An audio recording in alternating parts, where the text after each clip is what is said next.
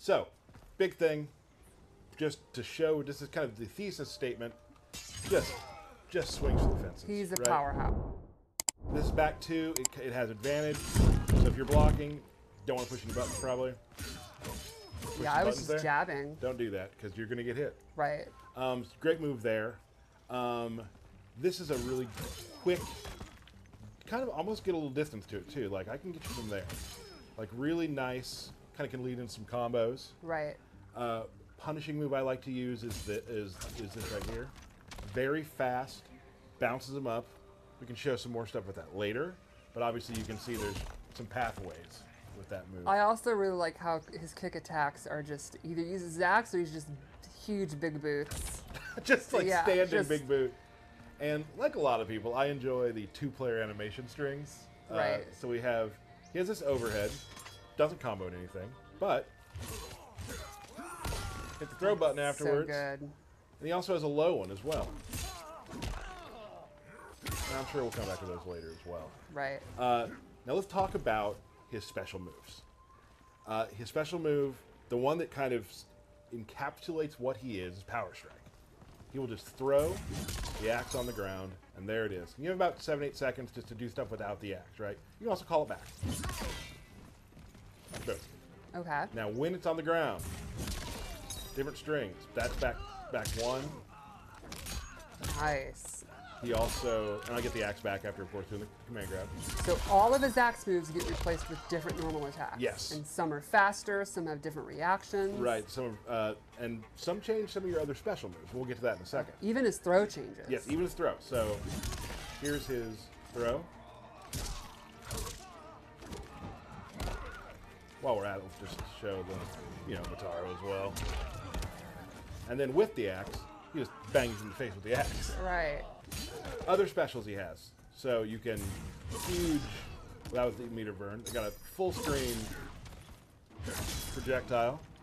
Now, if you're close, you can. Sorry about that. You can do some some of this. Pops up. Nice. Right. Um, he has a buff. This makes your axe uh, powers do more damage. You can Okay. also meter ex that to get more time on it as well. Um, big move in his arsenal that also leads to a lot of crazy good damage is his also his uh, armored launcher is his knee. Just kind of representing, uh, kind of makes me think of the MK3 like up shoulder, except now it's a knee. Right, and it you can you, you can throw that out a lot of places, always there. But if you uh, ex the knee, you get a free power slam after that. So you can do like that, Okay. and then his axe is on the ground again. Okay. So that's how you rotate throughout the character, right? And now it's on the ground, now it's back to me. So then you can start doing really cool stuff like this into into power slam, back into that. nice. And that's a pretty nice chunky combo. and now you have the axe back. Right. When the axe is on the ground, other cool things can happen. Power slam. Now, I have a ground pound. Neat. Now, here's the interesting thing. When you are on the axe, it is an overhead low, Okay. which is kind of tough to block. Yeah. You can also, you know, throw this down, uh, do this. Combo And that's like a it. quick recall. Right. Yeah, so if you have it down, you also have a move where you can just be near it, and it's very fast slash. Okay. Um, so a lot of really cool stuff you can do. And he's so he's clearly meant to be going in and out during Yes. the fight, in the middle of combos, getting it back at the end of combos. Maybe recalling it if you want to. Right. Lots of stuff like that. But if you are as a as my opponent near the axe, there's a lot of stuff you need to think about. Right. So it's almost like with the axe, you have, you know, kind of really good range, not the quickest moves. Without the axe, you're much quicker and Yes. you can use it, establish the axe on the screen, and they're going to have to respect it, and that's going to kind of open up your grabs, your mix ups, stuff like that. and it's super cool. Um, you can also like he also you know has some can pick stuff out of the air and that sort of thing. I mean, the the, the knee into power power uh, power strike is huge. Right. Right, really important. Um, make sure I'm not missing anything. I do want to show some stuff with Motaro. Okay. So Motaro has a couple things you can use. Now, obviously, I'm a big guy. Prop projectiles might scare me.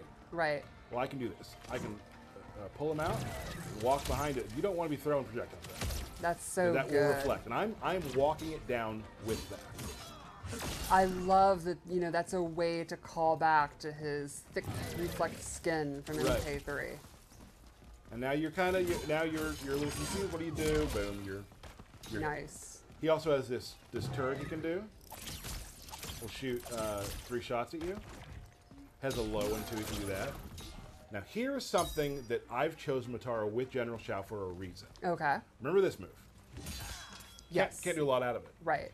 He has this teleport, right? Okay. Which Maybe you can read a projectile, maybe not. But you can move around the battlefield quicker as Right. General Shao. But with this overhead, I can teleport and still And continue a, true combo. combo. It's a true combo. So now you have to worry about this, and you have to worry about uh, something like this. Like that's now in play. Right. So you and you can do the full, uh, the full thing too. You can do like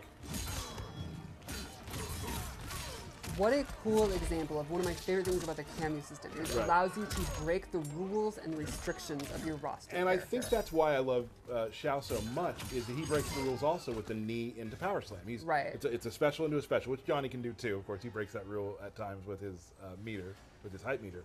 But yeah, that, there's a lot of cool, fun sort of breaking the meta of what Shao is, just so you can do with that. And Really I think cool. it's so neat about the Kameo system. You kind of look at your play style, look at your character, and think, what are my weaknesses? What are the things I think I'm missing? And you can use your Kameo to turn those weaknesses into strengths. right. And you know, for me, it's like if I'm so far away from people, just as a zoner, just even having.